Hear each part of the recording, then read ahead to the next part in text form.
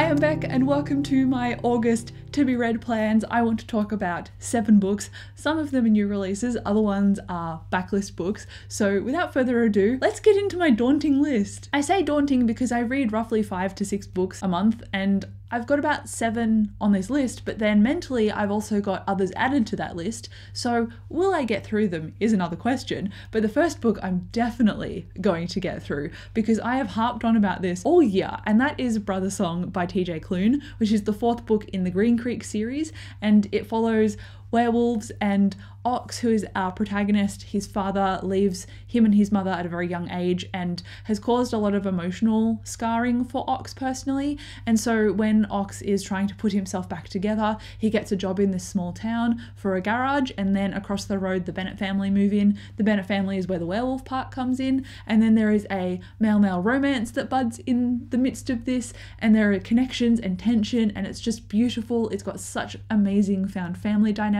which is what I adore in my books. And then each book so far in the series has been five stars for me. So I'm assuming safely that Brothersong will also be a five stars. Plus, it is the last book in a series, so I'm going to be feeling much anguish by the time this release hits my doorstep. Stay tuned for me to be upset, but in a good way. Hopefully, it doesn't give me a book hangover and then I don't read the rest of the books on my to be read list for the month. I guess if one book to give me a book hangover is not enough, I have one to go straight into afterwards, and that is The Pairing by Casey McQuiston. They wrote Red, White, and Royal Blue, which is one of my favourite contemporary book romances, rom coms, and I'm so excited that another book by Casey is coming out soon because I believe it follows two foodies and they are rivals. Obviously, they become lovers. It's also a male male romance. I don't know how it's going to go, but the pairing obviously refers to wine and food, so I'm looking forward to experiencing their writing again. It has been way too long. So that one comes out, I think, on the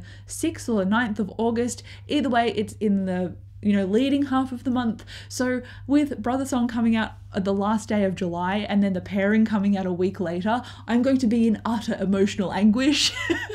but bring it on, I say, bring it on. Because those are two physical books and hopefully they'll be easier for me to get through, I have an audio book to kind of change things up, and that is The Phoenix Keeper, which is a sapphic romance. So, not male male romance like the other two releases, this is female female romance. And this one follows a woman who loves phoenixes and is a keeper at this magical zoo, and she's in a direct rivalry with the Griffin Keeper, and she's trying to reinvigorate the phoenix breeding program and get everyone as excited about phoenixes as she is. Obviously, she's going to have a rivalry to romance with the lady who runs all the griffins, and so I hope they form this awesome connection after a whole bunch of tension and then they realize they're falling for each other. I quite like rivals to lovers because it forms this unnecessary, like almost self competitive tension with each other, and then they realize in their competitiveness and become self aware, and they go, Oh, actually, I have a lot of feelings, and I love it when that happens. It is so wholesome. So I'm looking forward to reading The Phoenix Keeper.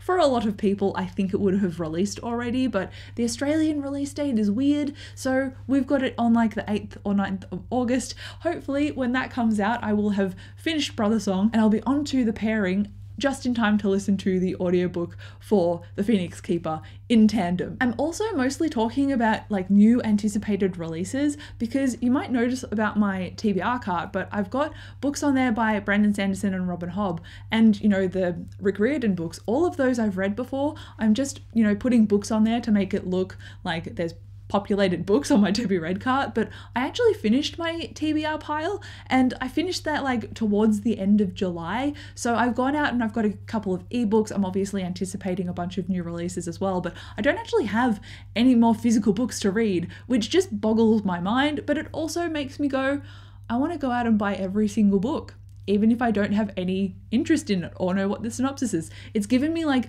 book gremlin buying vibes, so I need to just chill and go, my anticipated releases are coming, calm down, Beck. Case in point, I borrowed this next one from the library instead of going out and buying it, and that is When the Moon Hatched, and I don't know anything about this except that it is a very hyped romantasy. So it's got a fantasy, like strong fantasy element with world building and such.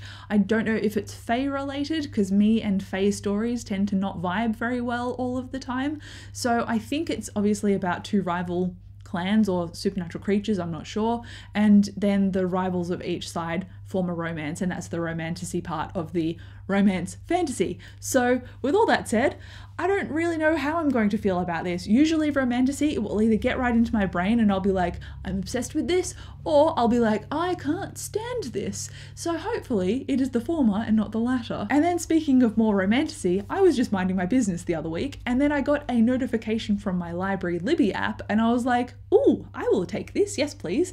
And they have just got the audiobook coming in for Bloodguard, which is another romantasy. I think a lot of people might have read this because I believe it's out. I have seen the physical book in print, so I don't know if that means that there was a staggered release and then Australia had international stock come in, and that's how I've seen it. But either way, again, it's another romantasy book. I think it's got something to do with potentially vampires, given that it's got Blood Guard in the title, but I don't know. I'm happy to go in pretty unaware, so I'll see how I feel depending on how the writing style and the development of the world is in the first like opening chapter. And from there, I'll go, yeah, I like the taste of this. No, I don't like it at all. And I'll just return it for someone else to enjoy instead. So those are two romantasy books that I went the safe road with instead of the book haul gremlin mode. I'm kind of proud of myself actually. And then while I was recently on my honeymoon, I ended up rereading all of the Rick Riordan books that you see behind you. So I listened to all of those on audiobook from my library. Because I was traveling, it was much easier to listen to them than to physically, you know, cart them along in my suitcase. So after rereading all of those, I'm now like, I'm in the mood to continue.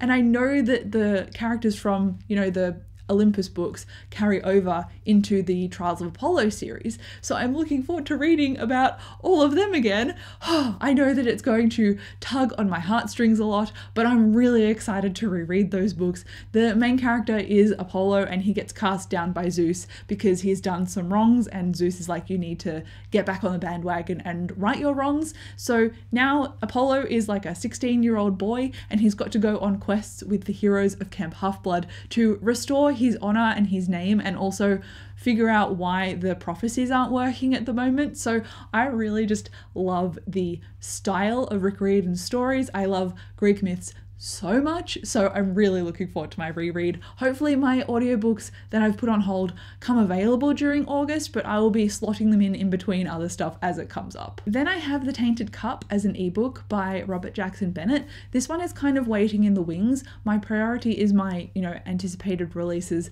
as physical copies, but if I end up going, oh, you know, I feel like doing something on my Kindle because it's easier to get through books on that. I don't know why I somehow read faster on my Kindle. I downloaded The Tainted Cup by Robert Jackson Bennett, who wrote The City of Stairs, Foundryside, a whole bunch of other books, and I'm hoping that I like it. The premise is that there is a duo investigating the death or potential murder of this guy because a giant mushroom tree burst from his chest and that's how he died. So it's like a fantasy supernatural murder, and I don't know any more than that except the sidekick guy who is investigating the murder has a photographic memory. I think Robert Jackson Bennett does great mystery suspense because I really enjoyed City of Stairs by him. So I think these two might be in a similar vein to each other in terms of those themes in that genre. But when I read Foundryside and City of Blades, I didn't like them as much. I gave Foundryside a three stars and I DNF'd the second City of Stairs book. So,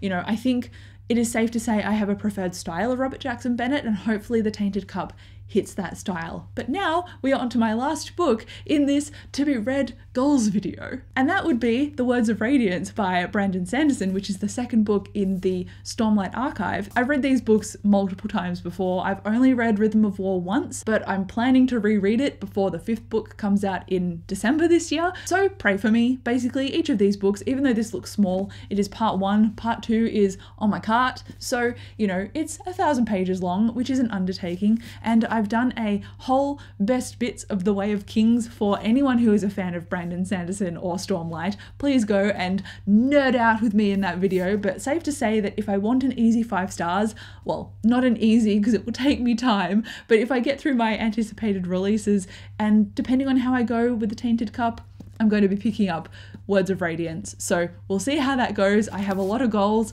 Surely other stuff will come in on Libby as well. Maybe I'll you know, go out and buy books like I said. Who knows? Stuff will happen. These are my rough plans and I hope that I stick to them. But thank you so much for watching this video. Let me know if you have any anticipated releases that I might have missed throughout this TBR video. But thank you again so much for watching and I'll see you in my next video.